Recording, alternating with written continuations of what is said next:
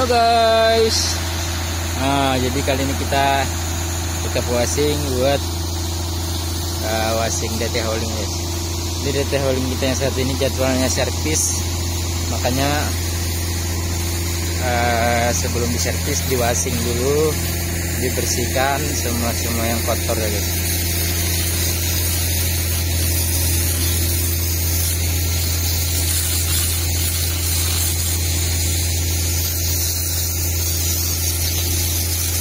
itu bersih semua ini guys